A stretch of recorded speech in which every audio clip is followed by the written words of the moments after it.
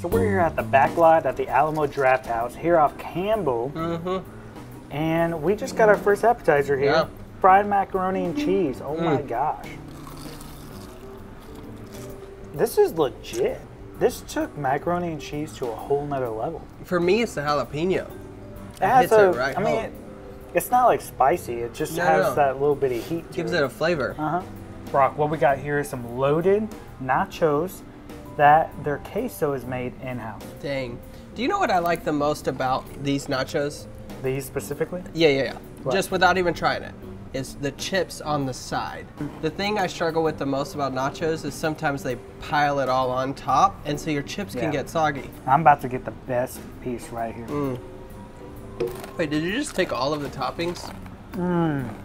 Now, whenever we come to the Alamo Drafthouse to see like a movie or something, my wife always gets this queso. She is a like a raving fan of Mm. Wow. this stuff. They actually pair it with their pretzels too. Oh, oh, that would be good. Mm-hmm. So what we have here is the Thai chicken pizza. What we got on this pizza, it looks like it has a little bit of nuts on it. Looks like some peanuts, some Thai chili, Yeah. some chicken, some onions. Looks like some chives. Every, there's a theme here Mm-hmm. at the Backlot. Okay. Which, by the way, the Backlot is actually a bar. Yeah. Full service bar. They just have an emphasis of a restaurant. Yeah. You don't have to come here for just a movie, right? Yeah. They want you to come in, like, have a drink, sit down and unwind for the evening, grab a bite to eat, but they just want you to come and hang out. There's like some couches and some nice um, luxury chairs, um, but then of course they've got the bar stools. But it's just a community space. Come out, hang out with your community, enjoy a drink or two, and have some good food with it.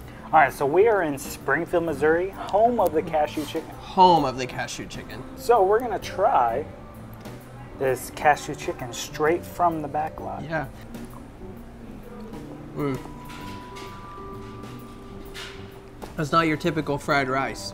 It's got so much more flavors and seasoning to it than just a typical fried rice with eggs and vegetables and stuff. Look get at on that. in there, man. Look at that.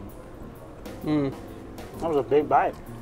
Dude, this is my go-to whenever I come here to eat Really? during a movie. So you always get I always get their cashew chicken. really. I think it's cool that they've kind of catered to Springfield, right? They're they're all over the nation, right? Mm-hmm. I know for sure we had them in Texas growing up, but I think it's cool that they've kind of catered to the area and created their cashew chicken and, and what they believe. I think that's the key here. Mm-hmm. They've taken a, a corporation Mhm. and made it regional. Yeah. Not even regional, even less district. Desserts up. Here we are. Yes. Our favorite time of the day. All right, so what we have here is a shake. They really knew that Jesse and I needed to get a little personal today because uh, I'm now looking forward to it. we fixing a drink out of the same cup. Yeah, we're about to like Lady and the Tramp this.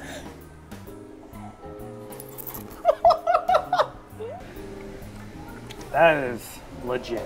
wow. All right, so what we have here is the cookie trio: The trio. triple chocolate chip, chocolate chip cookies, and the M&M. Typically, it doesn't come with ice cream, but you know they hook up these know, traveling you know, you foodsters know. here. You know. But we suggest you ask for ice cream. Yes. because then they'll hook you up. I'm, I'm excited about the M&M right here. Mmm, This chocolate chip bomb. It's almost too hot to eat. It's so fresh. What? Okay. Oh dang, this is like Yeah. nice and warm. It's warm. It's fresh out of the oven, guys. Yeah. That M&M is fire. Dude, M&M cookies are my go-to. They're my favorite anywhere I go. What do you think of the triple chocolate? I'm a huge chocolate fan. More chocolate, the better. I'm pretty So- sure I heard you one time say if you died by chocolate, you'd be fine. Yeah, diabetes. Let's go. What I like about this M&M cookie, Mhm. I'm big on chocolate chip and triple Yeah. chocolate chip, but this M&M cookie, this is weird of me to say, but it's thicker Okay. Yep. and it has Yep. more of like a cake substance Yeah. to it. I Yeah. love that. This, my friends, is a must-have. So we have to choose our foodster favorite, and this is a hard decision. It's hard, man. So we started with the croquettes. We had the loaded nachos. Yeah. Then we got the cashew chicken Uh-huh. and the Thai chicken pizza. Uh huh. Uh huh. Ended it off with the espresso Milkshake? shake and the triple homemade grandma's cookies with a vanilla scoop of ice cream, which Oh. we kind of, they, they threw They that in. treated us. So we have to figure out which one is, was the best. Man. What stood out the most? Man, normally on our food your favorites, I just know. You know what I mean? Like I, I just know, but The reason why it's so hard to decide is everything here is so unique to the backlot.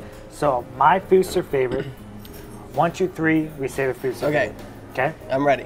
One, two, three. Cashew chicken. Fried macaroni and cheese. he picked the cashew I chicken do, because man. he always gets it. But it's just, it's incredible. Like I've had cra- cashew It's your chicken go-to, man. all all around Springfield, and there's just something about their cashew chicken. Now I didn't. I've never.